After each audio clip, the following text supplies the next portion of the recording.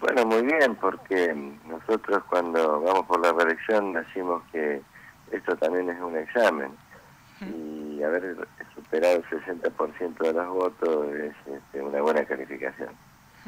Bueno, ¿a qué hora llegó la noticia de que te habían vuelto a elegir? El domingo. El día domingo, ¿a qué hora te enteraste de que ibas a ser nuevamente el intendente de Elena? Ah, bueno, este sistema de elecciones es verdaderamente lento, lento para, para votar y lento el escrutinio.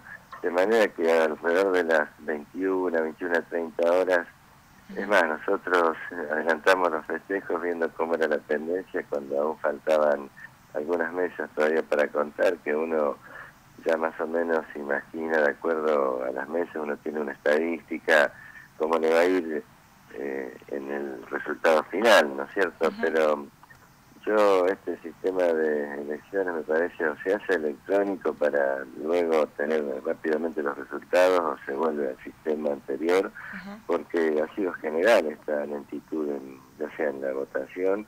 Por ejemplo, a las 7 de la tarde había gente que todavía no había terminado de votar. Cuando a las 18 se corta, ¿no? Eh, que hicieron? Bueno, hicieron pasar a la gente a, los pasillos de los colegios, de las escuelas, para permanecer adentro, cerraron las puertas y, ya te digo, eran más de las 7 de la tarde y había colas de 20, 25 personas todavía sin haber podido votar. ¿Cuántas personas votaron aproximadamente? Y superaron, a ver, mira, nosotros sacamos 1.250 votos, Juntos por Córdoba sacó 809 votos, así que estuvieron en el orden, más los blancos o nulos, superaron los 2.000 votantes de un padrón de 2.500 aproximadamente. Un, más de un 80% de la asistencia del padrón. Néstor Zunino, ¿cuáles son los proyectos para eh, el nuevo periodo? Bueno, nosotros tuvimos nuestra plataforma que está basada en lo este, en las obras de infraestructura básica, seguir trabajando en cultura, en salud, en general fortalecer todo lo que se ha venido haciendo y este y esperando, ¿no es cierto?, algunos compromisos de gestión nosotros hicimos, aspirando a que del gobierno nacional podamos acceder a los programas que dispone como viviendas, eh, asfalto, eh, bueno, y distintas eh, obras de mucho interés como playones deportivos, eh, en fin, todo lo que normalmente hemos visto que se realiza en algunas provincias que son han sido afines al kirchnerismo, ¿no? O sea, que vos sabés muy bien que Córdoba en ese sentido ha tenido dificultades y los la mayoría de los intendentes y jefes comunales no hemos podido tener éxito en los programas gestionados ante la nación. De manera que tenemos una luz de esperanza que de mejorarse esta situación vamos a tener, eh, vamos a multiplicar lo que hemos, nuestros compromisos de campaña por acceder a esos programas que otras veces lo hemos tenido, ¿no es cierto?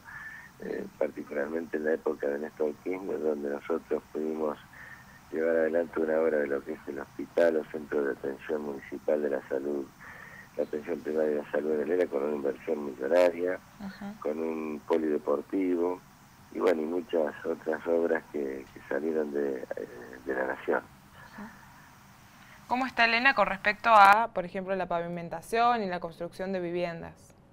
Bueno, nosotros gracias a, a los programas de la provincia hemos podido llevar adelante este, muchas cuadras de pavimento, de cordón y cuneta, y en cuanto a viviendas, este, hemos tenido aporte de materiales y con ellos estamos contribuyendo a la construcción de un, programa de viviendas que contempla la, construcción de 82 viviendas, donde hemos hecho un trabajo en conjunto con la provincia, este, consiguiendo fondos, eh, consiguiendo materiales y con una cuota de características sociales estamos llevando adelante un plan de vivienda de las cuales eh, vamos a entregar dos más ahora con un total de ocho porque estamos en, los comienzos de ese programa y pienso que en estos cuatro años vamos a avanzar muchísimo en, la construcción del mismo, ¿no es cierto? Porque ya tenemos toda la infraestructura administrativa y de trabajo para, eh, acelerar la construcción de estas viviendas, más allá que hoy tenemos un ritmo de una vivienda cada dos meses y medio estamos construyendo.